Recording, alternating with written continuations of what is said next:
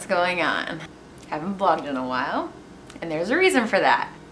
August was really rough for me, really rough. So I tried, I was trying to do at least a vlog a month. It was hard. Um, August just got really intense really fast for me. So what happened? First of all, I was coming at the end of a deficit in my calories and um, I was at around 1600 calories for about eight weeks. And I was really low carb at that time. I was having those heart issues at that time.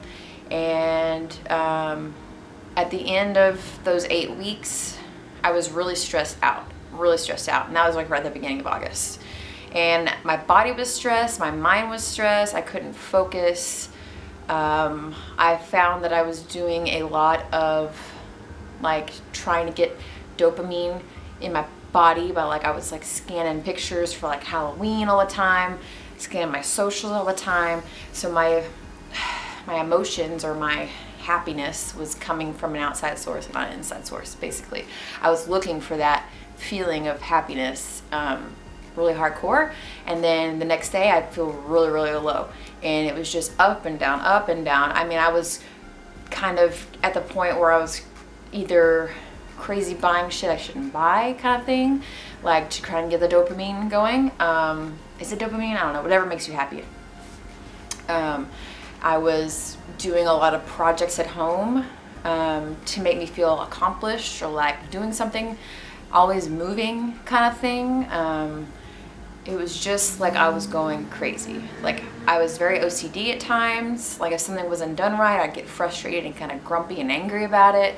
Um, there was just a lot. There was just a lot. And um, at the end of that cut, I guess you could say, um, my blood, fasted blood glucose was really high. Um, my coach was like, okay, we're gonna take you completely off exercising. So mind you, I was exercising five days a week. I was probably getting at 11K steps a day. And then I was also doing cardio on top of that. So it was a lot of stress in my body. And I was also doing pole. So um, I went from doing all of that to doing none of that, none. Only my steps, I think, was the only thing I was allowed to do for two weeks. And in those two weeks, my calories went from 1600 to like 2,100. There was no in between. It was 1,600 one day, and the next day, okay, we're getting you out of this. We're getting you out of this, and we are going to 2,100 calories. Um, that fucked with my mind a lot. Um, and of course, when you increase your calories, you're going to gain some weight. It's just how it goes.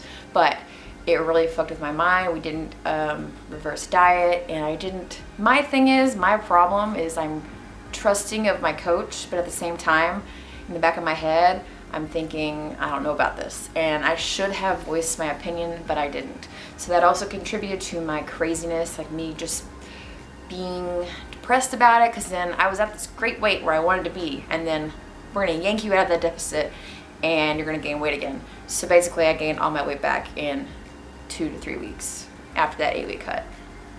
So um, I kind of it just made me, you know, realize that I know my body more than other people do and or that anyone can help me with basically and I need to learn how to trust myself and do this for myself and not for anything else. So um, yeah, um, I used, I noticed that I used exercise as a way of therapy for me and so not being able to exercise at all was really hard on me too. Um, that also contributed to me looking for that dopamine like constantly.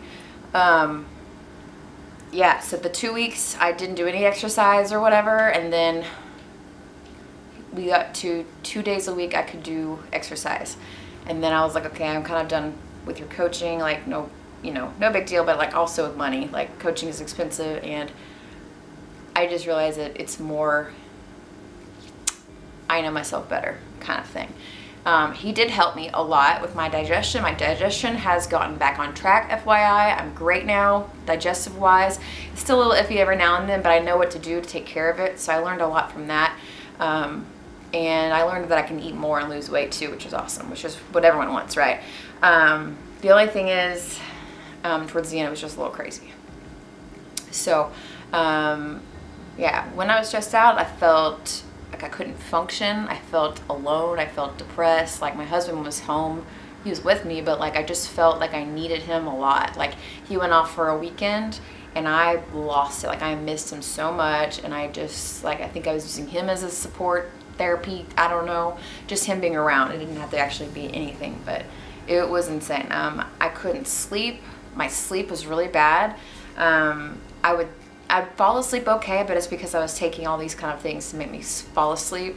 But the problem is I would wake up around 2 a.m. with like a song stuck in my head or like a buzzing in my head. I just couldn't go back to sleep. So um, if you're in a deficit and you can't sleep, it's probably time for you to start getting out of that deficit and starting to focus on getting back to maintenance is what my general thing is. Like learn how to learn to listen to yourself, notice your sleeping patterns. It's so important. Um, and yeah, I'm just talking about what I've learned pretty much. What was help helping me get out of, getting out of um, that funk that I was in in August um, was really just focusing on each day, um, focusing on what I could do. So like everything is either half empty or half full, right?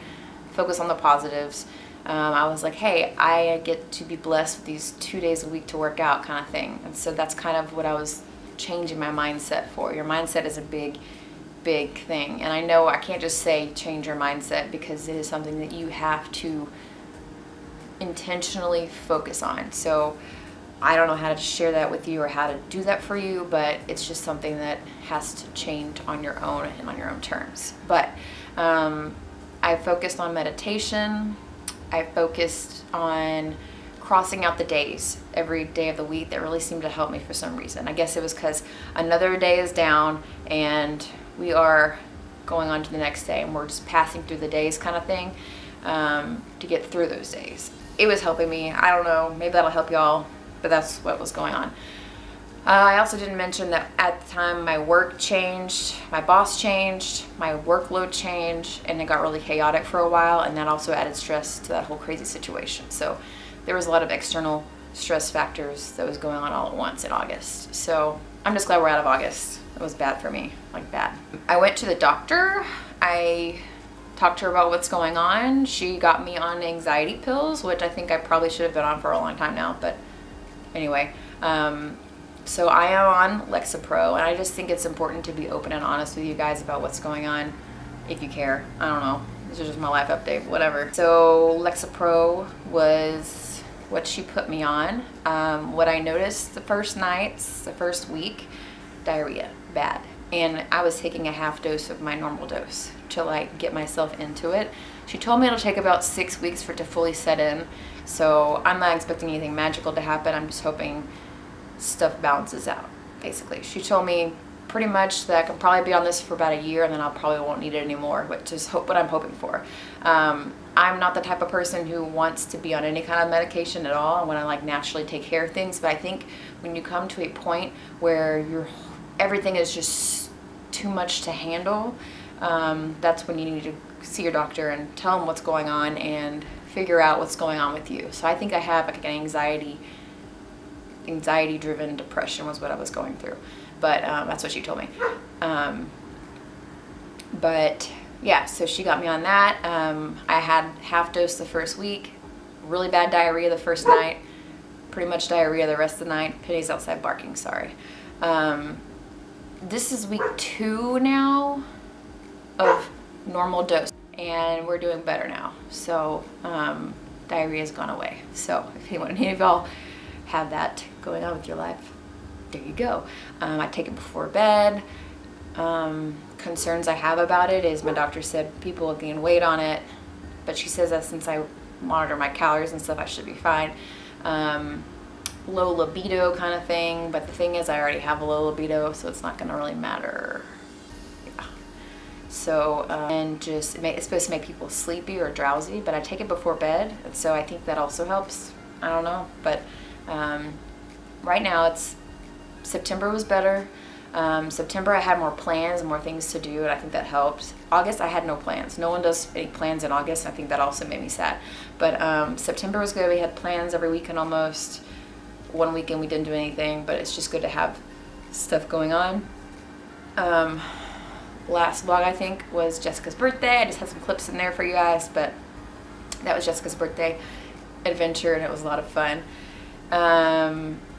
Yeah, so now we're in October. Um, I'm feeling better. I'm not 100%, but I am a lot better than I was in August. It was horrible month for me.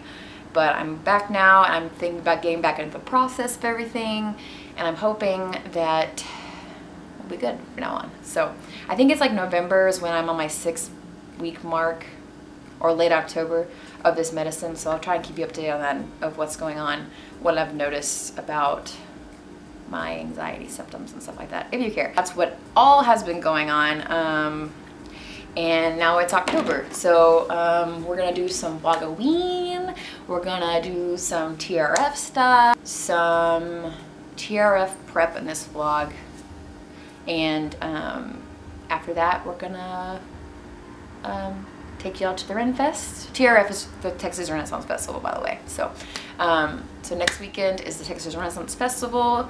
Starts, it's every weekend, October, November, every weekend, even on Thanksgiving weekend. So, um, really exciting and fun and I can't wait to go. Um, starts this weekend, and so today I am just going to like pretty much go through all my camping stuff and organize it, clean it out, because it's been a year since I've camped kind of thing. Get everything organized and get it all packed and ready so I don't have to worry about it during the week. So that's what we're doing today. Let's get going. Okay, I'm to do a quick little review of stuff in my tote for camping at the Renton Fair. Um, first of all is just this spare blanket. I normally will put that on cold days. I'll put it under my mattress to kind of prevent ground cold. It's made my bed even warmer than it is, basically. Um, I have a toilet seat cover. And what this is, is my little own mini, no, I was wiping it down, so it's a little wet right now, but it's my own little mini toilet. And what I do is I put this, normally there's not a sleeping bag in there, but I will put this normal white bucket and put a um, trash bag in there and then put some kitty litter in there and then basically I just pee in there. I am a peeing person but yeah the lid goes on like that and you have your own little lift it right now but your own little toilet seat. It's helpful for whenever you're drunk and you get out of the bathroom a lot. So that's that. Um, here's my tent. Here's my tarp that goes under the tent. Uh, I have an extra like hammock and I always wanted to use this but I haven't and we're gonna see how this goes. I don't know. Um, I have hammer, really rusty hammer, and scissors and a little dustpan for whenever I'm done camping. So I kind of cleaned this out and put everything back in there, mostly organized. I know what's in this tote. Um, I'll probably put my sleeping bags in there too. Um, and this tote is kitty litter. This is almost out of litter, so I'm just going to refill this from that bag that I just bought. Um, extra bowls in case we need bowls. Normally what I do when I eat is I just bring a Lunchable or something. I'm pretty low maintenance when it comes to food. Um, batteries. I have lots of batteries. I have these big ones. I have double A I have for an air pump and an extra air mattress in the event that something goes wrong or somebody needs a bed. Um, these are just extra lights for setting up at camp.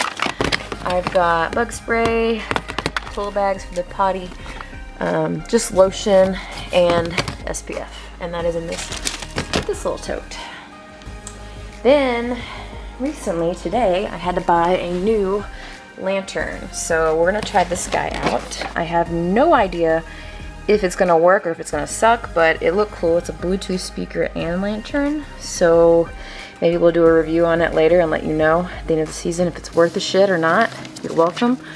Um, so I had to go to the store and get some stuff. Normally this does not happen, but I'm basically all my stuff is broken or needs to be replaced. So I just figured why not now? Um, this I found just on the side of the aisle. I thought it was perfect. It's a light.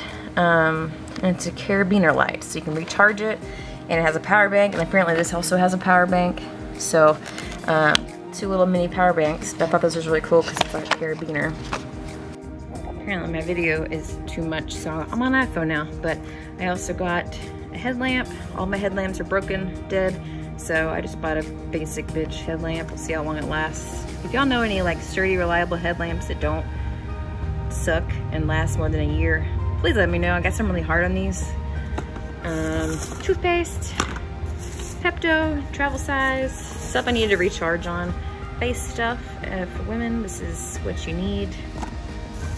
Um, batteries, more batteries, more batteries, face wipes. I noticed that I am not very good at cleansing my face when I go camping, so trying to get on top of that this year. Um, toothbrushes, my camping toothbrush, I normally will re redo them every once a year. Potty wipes, and I think that's it. Yeah, I, I'm gonna try these out this season to see if they actually work or not. They're supposed to be like a custom fit foot insole thing. So I'm gonna slip these in my boots and we'll see. But yeah, that is my camping preparation for you guys. So all this stuff will go in my, my packing, my camp stuff, and um, yeah, we'll see. I'm gonna start charging these guys up and we'll see how they do, the whole Bluetooth and all that. So to be continued.